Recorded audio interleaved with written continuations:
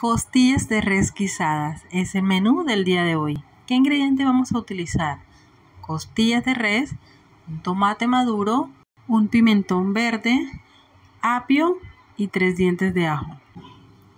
Ya yo piqué la cantidad de costilla que voy a hacer para este día y voy a agregar los vegetales que ya les mencioné. Condimenté con mostaza poco de tomillo, cúrcuma, paprika.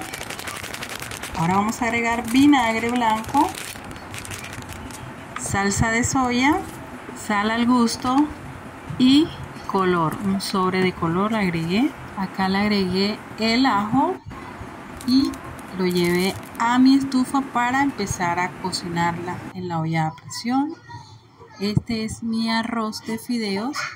Ya casi está. Este es con el que voy a acompañar nuestras costillas. Este plato también lo vamos a acompañar con una ensalada de lechuga con tomate y cebolla blanca. Ahí ya destapé las costillas para que terminen de secar. Me gusta que la salsa quede un poco más espesa. Y este es el resultado final. Este almuerzo quedó pero delicioso. Y recuerda, si te gustó esta receta, este video, dale compartir. También puedes darle me gusta o me encanta. Y por qué no decirme qué tal te parece esta receta. Nos vemos en un próximo video.